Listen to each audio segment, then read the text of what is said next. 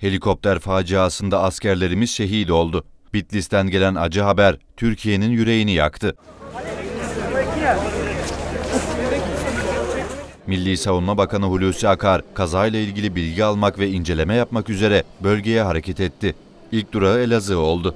Akar'a İçişleri Bakan Yardımcısı İsmail Çataklı, Genelkurmay Başkanı Orgeneral Yaşar Güler ve Kara Kuvvetleri Komutanı Korgeneral Ümit Dündar eşlik etti. Evet arkadaşlar başımız sağ olsun. Başımız sağ olsun. 8. Kolordu Komutanlığı'na giden Bakan Akar, Kugar tipi helikopterin kaza kırıma uğradığını belirtti. Şu bilgileri paylaştı.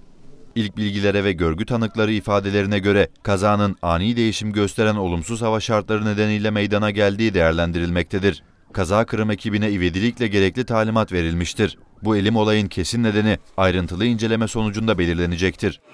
Ama dik olduğu için. Bakan Akar, helikopter kazasında yaralanan iki askerimizin sağlık durumunun iyi olduğunu söyledi. Yok yok. O devam etsin.